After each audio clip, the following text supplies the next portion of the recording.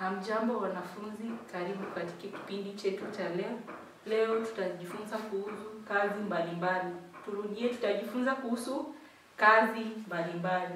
Na kazi hizi ni shughuli ambazo watu hufanya ili wapate riziki. Kila asubuhi mzazi wako, jirani yako wanaamka aende kazi tofauti tofauti ili mpate riziki. Kazi mama ameenda anatafuta ili mpate riziki. Kuna aina tofauti tofauti za za mfanyikazi. Ya kwanza ni mwalimu, kama mimi sasa hivi nafundisha.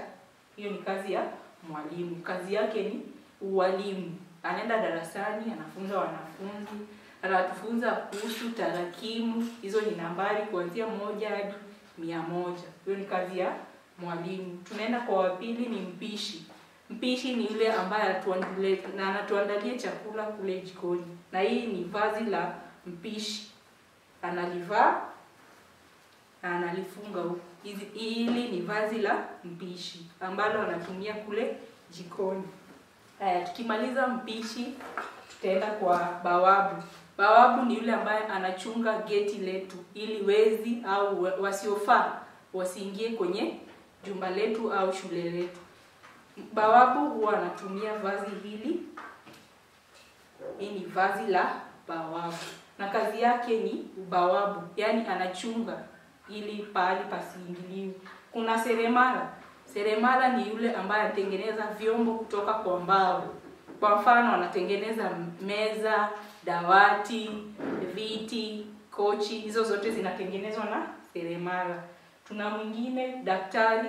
Ninapougua au unapougua, tunaenda kwenye daktari ambaye anakutibu kisha unapona unaenda nyumbani. Hiyo anaitwa daktari, na kazi yake inaitwa udaktari. Hiyo kazi ambayo anafanya. Kuna mkulima kule shambani. Tunapoenda shambani, tunaenda na vifaa tofauti kama vile jembe, kifiekeo, panga, reki. Jembe tunatumia kulima, panga tunatumia kukata mimea ambayo hayafai kwenye shamba. Reki ni ya kusanya uchafu, hiyo yenye iko kwenye shamba, na panga pia ni ya kukata uchafu. So mkulima anatumia hizo vifaa kwenye ukulima kule shambani. Nyumbani pia kuna yaya. Kazi ya yaya ni kulea mtoto na kufanya shughuli za nyumba kama vile kufagia, kuosha nguo, kulea mtoto, kumlisha na kumvisha. Hiyo ni kazi ya yaya. Tuna mjenzi.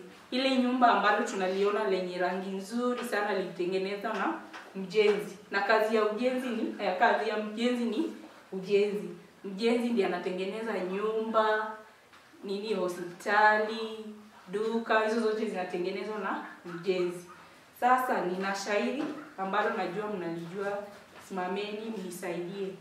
Tutaanza na mwalimu ni ualimu, mpishi upishi, bawabu bawabu, seremala useremala, daktari daktari, mkulima ukulima, yaya uyaya, na ujenzi ni mjenzi.